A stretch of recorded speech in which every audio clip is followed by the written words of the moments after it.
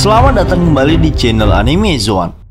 Pada video kali ini, kita akan membahas tentang masa lalu Rayleigh dan alasan dia sangat disegani oleh pihak Angkatan Laut dan pemerintah dunia. Memang Rayleigh dikenal sebagai Raja Kegelapan. Nah, mengapa dia bisa mendapat julukan Raja Kegelapan dan mengapa dia sangat disegani oleh pihak pemerintah dunia? Apakah dia ada hubungan dengan pemerintah dunia sehingga mereka tak berani menangkap Rayleigh ini? Lalu seperti apakah kekuatan dari Rayleigh ini yang sesungguhnya? Namun perlu diingat, teori yang akan kami sebutkan nantinya hanyalah sebuah opini dan spekulasi pribadi berdasarkan beberapa fakta dan informasi yang sudah dikumpulkan. Sebelum masuk pembahasan, kita trading dulu di Binomo. Seperti yang sudah kalian ketahui, Binomo adalah platform trading yang terpercaya dengan kemudahan deposit dan withdraw. Oke, langsung saja kita tradingkan. Nah, pertama kita rubah dulu di time frame atau periode waktu 30 detik. Di sini bisa kita lihat akun real saya adalah 7,8 juta. Lalu saya mungkin akan bermain di 1,4 juta. Oke, boleh. Dan kita akan lihat di sini uh, sepertinya dia trennya turun dan saya akan turun. Oke, kita tunggu. Mungkin dia apakah saya benar? Saya kita tunggu saja beberapa detik lagi. Sebentar. Ya. Hmm. Ya turun-turun ya kita profit. Tunggu berapa waktu lagi. Iya iya iya iya ya. hmm 2.576 hanya waktu sekitar tidak sampai satu menit ya. Tunggu apakah saya profit. Tunggu beberapa detik lagi. Oke lihat saldo saya 6.400 apakah dia nanti akan bertambah? Ketika saya profit nanti kita lihat.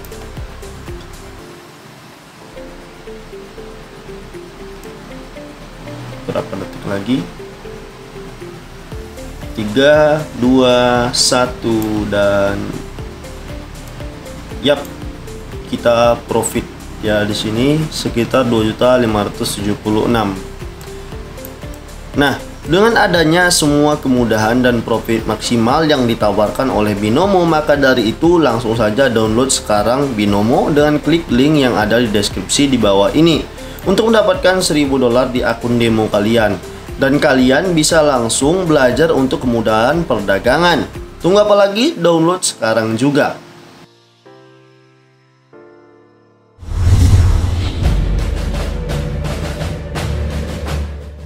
Awal pembahasan kita mulai dari cerita masa lalu Rayleigh Rayleigh merupakan wakil kapten dan tangan kanan dari kaptennya Goldie Roger yang merupakan raja bajak laut satu-satunya saat ini di One Piece. Namun yang kita ketahui saat ini Rayleigh sangat takuti dan disegani oleh pihak angkatan laut.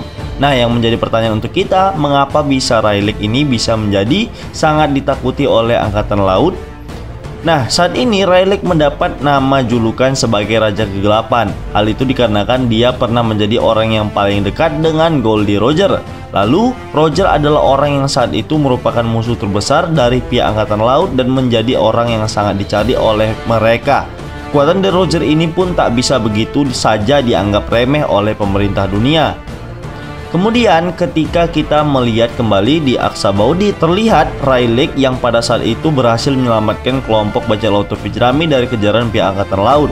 Lalu Rayleigh membuat garis pembatas dan mengancam angkatan laut jika mereka berani melewati garis tersebut, Rayleigh akan menghajar mereka. Dan terbukti tak ada satupun dari mereka yang berani melewati garis pembatas tersebut. Dan sepertinya setelah mereka mendengar apa yang dikatakan oleh Rayleigh ini, prajurit angkatan laut terlihat sangat ketakutan mendengar ancaman tersebut. Namun ada momen ketika Luffy yang terlihat kembali ke Marineford untuk memberikan penghormatan terakhir kepada kakaknya Ace yang gugur di perang tersebut Mengetahui kapal dari Angkatan Laut dibajak oleh Luffy dan kawan-kawan, Angkatan Laut terlihat menyerang mereka dengan sedikit tembakan meriam. Lalu tak disangka Angkatan Laut langsung terdiam dikarenakan di kapal yang dibajak Luffy tadi berisi Rayleigh dan juga Jinbei. Mengetahui hal tersebut, Angkatan Laut berhenti menyerang mereka. Kemudian sebelum time skip terlihat Rayleigh sangat santainya menghadapi Admiral Kizaru yang merupakan pengguna buah iblis Logia Pika Pika Nomi. Rayleigh mampu menghadapi Admiral ini di umur yang sudah tak lagi muda. Nah, saat itu umur Rayleigh sekitar 76 tahun. Lalu setelah time skip, umur Rayleigh adalah 78 tahun. Coba kita bayangkan dengan umur yang sudah sangat tua tersebut, kekuatannya mampu menandingi lawan yang hebat seperti Admiral Kizaru. Lalu bayangkan kalau di umurnya yang masih sangat muda akan seperti apa kekuatan dari Rayleigh ini. Kehebatannya serta kemampuan fisiknya pastinya akan lebih sangat hebat lagi. Nah, tentunya saat ini orang yang mengetahui lokasi dari Pulau Locktail dan di sana ada harta karun yang berisi One Piece dan Rayleigh sendiri sudah mengetahuinya. Tentunya karena dia merupakan tangan kanan dari Goldie Roger. Ketika kru topi jerami berkumpul kembali setelah time skip dan mereka berada di bar milik Shaki, Kemudian Usop bertanya kepada Rayleigh. Dia ingin mengetahuinya langsung dari Rayleigh. Spontan, Luffy langsung memarahi Usop dan melarang Rayleigh memberitahukan lokasi dari harta karun One Piece yang selama ini mereka cari dan Luffy mengancam Usop jika Rayleigh memberitahukan lokasinya dia akan membuarkan kelompok bajak lautnya ini. Nah ternyata alasan Luffy adalah karena dia tak ingin petualangan mereka terasa hambar dan dia tak ingin perjuangan mereka selama ini menjadi sia-sia karena telah mengetahui lokasi One Piece. Karena Rayleigh sangat menghargai Luffy setelah dia mendengar perkataan darinya, kemudian Rayleigh tak jadi memberitahukan lokasi dan letak dari harta karun One Piece ini disimpan. Karena Rayleigh ini pernah menjadi tangan kanan Raja Bajak Laut dan dia sering ikut berjelajah bersama dengan kaptennya Roger. Tentunya Rayleigh ini pasti sudah mengetahui isi dari abad kosongan dan dia tak ingin memberitahukannya kepada hal ramai dan sepertinya dia sedang menunggu orang yang tepat. Namun Rayleigh sendiri berkeinginan untuk mereka para bajak laut yang mengetahuinya sendiri dari rahasia tersebut dengan kemampuan mereka itu sendiri. Kemudian, alasan lain Angkatan Laut sangat takut kepada Rayleigh adalah mungkin dia pernah menjadi mantan pendekar pedang terhebat dunia dan ini terjadi sebelum adanya Mihawk. Lalu saat ini, julukan pendekar pedang terhebat dunia adalah Mihawk dan dia pernah menjadi Shichibukai. Nah, ketika di zaman era bajak laut Goldie Roger, tak pernah ada disebutkan ada orang yang memiliki julukan pendekar pedang terhebat dunia. Jadi kami beropini bahwa orang yang dulunya pernah menjadi pendekar pedang terhebat tersebut adalah Rayleigh itu sendiri. Ada momen ketika Rayleigh yang pada saat itu berhadapan dengan Admiral Kizaru dan dia berkata, "Sudah sangat lama sekali aku bertarung tak menggunakan pedangku lagi." Hal ini bisa kita simpulkan bahwa Rayleigh dulunya adalah pendekar pedang, namun ini belum pasti kebenarannya. Nah, selain dia memiliki kehebatan berpedang yang sangat baik dan diduga menjadi pendekar pedang, Rayleigh adalah orang yang sangat ahli dalam menggunakan haki. Sepertinya Rayleigh merupakan salah satu orang yang memiliki haki tingkat tinggi di One Piece. Kemudian Rayleigh lah orang yang mengajarkan Luffy untuk membangkitkan hakinya dan juga segala pengetahuan tentang penggunaan hakinya tersebut sehingga Luffy bisa menjadi sekuat sekarang ini. Jika kita berbicara mengenai haki, sepertinya kita bisa membandingkan haki dari Monkey D. Luffy, Akagami no Shanks, dan Rayleigh. Haki merupakan kekuatan yang berasal dari makhluk hidup dan tentunya tak banyak orang yang mengetahuinya dan juga mereka tidak tahu cara membangkitkan haki tersebut. Nah, saat ini kita sudah mengetahui ada beberapa dari karakter One Piece yang mampu membangkitkan haki mereka seperti Rayleigh, Shanks, Luffy, Doflamingo, dan masih banyak lagi karakter yang tak bisa kami sebutkan satu persatu. Nah, dari seluruh pengguna haki tersebut, kita akan membahas tiga orang saja yang saat ini mampu membangkitkan haki terkuat mereka hingga saat ini dan mereka adalah Rayleigh, Shanks, dan Luffy. Lalu Rayleigh juga saat ini disebut sebagai Raja Kegelapan dan hal itu terjadi karena dia merupakan orang yang memiliki haki terkuat di One Piece hingga saat ini. Lalu yang kita ketahui dia memiliki ketiga jenis haki yaitu Kenbun Soku Haki, Busosoku Haki, dan Haosoku no Haki. Rayleigh merupakan master haki yang membuat Shanks dan Luffy berguru pada dirinya. Nah, kekuatan dari Silver Rayleigh ini tak perlu diragukan lagi. Ketika bajak laut topi jerami yang pada saat itu sedang dikejar oleh angkatan laut, Rayleigh dengan cepat datang membantu mereka. Lalu dialah orang satu-satunya saat ini yang mampu menahan serangan dari Admiral Kizaru yang memiliki kekuatan buah iblis. Bahkan Kizaru ini kelelahan melawan Rayleigh dan Kizaru berkata, "Jika kami ingin menangkapmu, tentunya kami harus memiliki kemampuan yang sangat lebih dibandingkan dengan yang sekarang."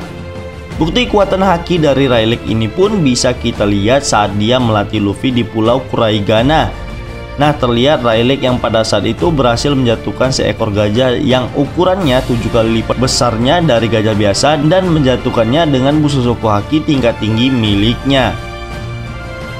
Kemudian bagaimana dengan Haki Sangs? Saat ini Sangs merupakan salah satu orang yang telah dianggap menjadi Yonko di lautan yang memiliki wilayah kekuasaan di daerah Grand Line. Saat ini Sangs merupakan satu-satunya Yonko yang memiliki kekuatan haki sempurna dan satu-satunya Yonko yang tidak sama sekali mengkonsumsi buah iblis apa pun, namun kuatannya sangatlah mengerikan.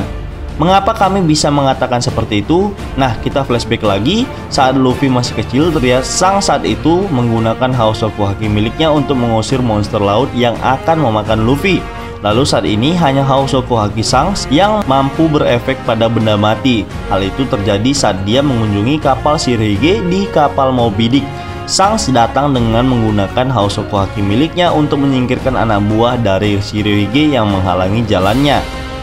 Lalu saat dia menggunakan hakinya terlihat kayu di kapal bajak laut Shirige retak dan mungkin itu terjadi karena kuatnya aura haki yang dikeluarkan oleh Sangs ini. Lalu Kenbun Sokuaki milik Sangs termasuk ke dalam golongan yang tinggi. Hal itu bisa kita lihat saat dia berhasil menghindari lemparan botol bir yang diminum oleh Shirigi tanpa melihatnya. Kemudian, saat di akhir perang besar Marineford, pada saat itu Sangs datang dengan para nakamanya dan menghentikan peperangan tersebut. Lalu Sangs berhasil menyelamatkan Kobe yang merupakan angkatan laut muda dengan busu Sokuaki tingkat tinggi miliknya untuk menahan pukulan magma dari Akainu. Kemudian yang menjadikan sosok dari Sangs ini istimewa adalah pembawaannya yang sangat santai dan apabila Sangs ini sangat marah, maka kekuatan dan haki yang dihasilkan darinya akan semakin kuat. Bahkan dia tak segan untuk mengajar lawannya hingga tewas. Lalu bagaimana dengan kekuatan dan haki dari Luffy? Saat itu Luffy dan nakamanya terpisah di Pulau Sabaudi dan sampai terlempar oleh Bartolomeu Kuma ke Pulau Amazon Lily. Kemudian ketika dia mendengar berita mengejutkan bahwa kakaknya Porgas di Ace akan dieksekusi di Marineford dan awalnya Luffy tak mempercayainya lalu dia teringat bahwa Vivre Card milik Ace pada saat itu terbakar dengan sendirinya dan hal itu menandakan bahwa Ace memang benar-benar akan dieksekusi. Lalu dengan cepat Luffy berangkat ke Marineford. Saat di puncak perang Marineford, Luffy terlihat kehabisan tenaga lalu dengan bantuan dari Ivankov yang merupakan si manusia hormon dan juga sekaligus merupakan orang yang menjadi anggota di pasukan revolusioner berkat dirinya ini Luffy dapat bertahan dan bangkit kembali. Lalu saat Sengoku memerintahkan eksekutor untuk mengeksekusi Ace, Luffy yang saat itu lokasinya masih jauh dari Ace dan terkepung oleh angkatan laut terlihat Luffy mengeluarkan Hosoku Hakinya secara tak sengaja. Nah, meskipun dia menggunakannya secara tak sengaja namun efek dari hakinya ini cukup sangat jauh. Bahkan eksekutor mereka sampai pingsan dan tak sadarkan diri. Sehingga eksekusi Ace pun gagal dilakukan. Nah, setelah time skip, tentu haki dari Luffy sangat meningkat. Ketika di alur cerita Pulau Manusia Ikan, terlihat bajak laut topi jerami terkepung oleh anak buah dari Odie Jones. Nah, ketika Luffy mengeluarkan Hosoku Haki miliknya dan melumpuhkan lebih dari 50.000 orang, tentu hakinya ini sudah sangat terkontrol sehingga Luffy tak dapat melukai teman-temannya. Bahkan kita tahu sendiri fisik dari manusia ikan lebih kuat 10 kali lipat dibandingkan dengan fisik manusia biasa. Lalu jika Luffy dapat menjatuhkan manusia biasa yang memiliki fisik di bawah manusia ikan, bisa kita bayangkan Luffy akan menjatuhkan 500 ribu orang dengan Haosoku Haki miliknya ini. Namun sayangnya, kekuatan dari Haosoku Haki tidak dihitung dari jumlah orang saja, melainkan seberapa besar efek yang diberikan kepadanya untuk makhluk yang memiliki mental yang kuat. Nah, jika makhluk yang memiliki mental kuat saja tak mampu bertahan, maka itulah level haki yang sempurna. Lalu setiap pertarungannya, Luffy selalu berkembang dalam mengembangkan jurus baru dan juga meningkatkan kekuatan dari dirinya itu sendiri. Nah, ketika Luffy berhadapan dengan lawannya di Wall Cake Island, Luffy berhasil mendapatkan jurus barunya yaitu Snake Man. Hal itu dilakukannya untuk melawan komandan manis bajak laut Big Mom, Katakuri. Lalu tak hanya itu saja, berkat Katakuri lah Kenbun Sokuhaki dari Luffy menjadi meningkat. Ketika Luffy berhadapan dengan Katakuri, Luffy terus-menerus memaksa dirinya untuk menggunakan kekuatannya dan melampaui batas dari dirinya. Dan tak disangka hal ini malah membuat Kenbun Sokuhaki dari Luffy menjadi sangat meningkat. Dan saat itu pula dia mengingat kembali pengetahuan yang dulu pernah diajarkan oleh Rayleigh pada dirinya untuk membangkitkan Kenbun Sokuaki dari dirinya. Namun uniknya, Rayleigh mengatakan pada Luffy bahwa Ken Bunsoku Haki miliknya ini cenderung dapat merasakan emosi dari makhluk hidup. Nah dari sini kita bisa beropini dan menganggap bahwa saat ini Luffy berhasil sekilas melihat ke masa depan. Dan sama seperti yang dilakukan Katakuri, bahkan mampu melampaui Haki dari Katakuri ini. Dan hal itu saat ini kita tahu bahwa Rayleigh lah orang yang sudah mengajarkan haki milik mereka berdua sehingga bisa menjadi kuat seperti sekarang ini. Nah, melihat haki muridnya semakin hari sudah semakin kuat, tentu kekuatan haki dari Rayleigh sudah semakin berada di atas dan melampaui dari mereka berdua. Jadi sangat wajar jika Angkatan Laut tak bisa menangkap Rayleigh. Bahkan Gap sendiri pernah mengatakan bahwa jika Angkatan Laut harus menangkap Rayleigh ini sendirian, mereka butuh armada yang sangat besar untuk menangkapnya karena kekuatan yang dimiliki Rayleigh ini sangatlah kuat dan mengerikan.